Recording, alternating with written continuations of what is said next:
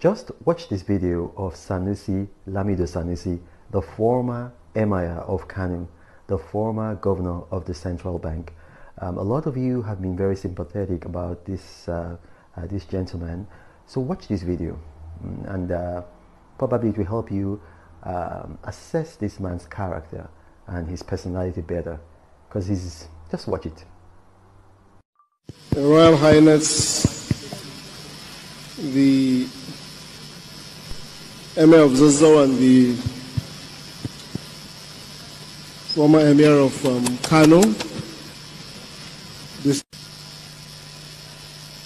And to be honest, when I looked through the plan and when I listened to the, I'll call him the former chief of staff, and you'll understand why later.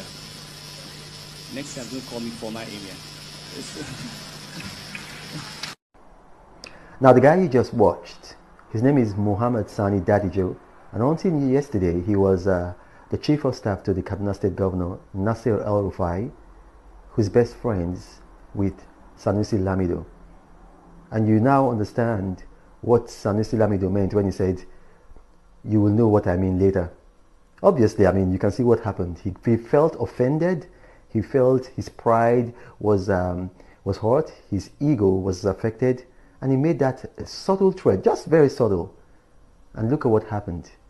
You know, just yesterday, the guy was sacked from his job as a chief of staff to the governor, redeployed to a lower position.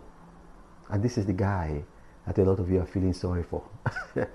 Look, it's easy when somebody plays the role of an underdog, and Sanusi is very good at that. He's very, very skilled, you know, at playing that role, manipulating the media. I mean, you've just seen what happened. I'll talk to you guys later. Bye bye.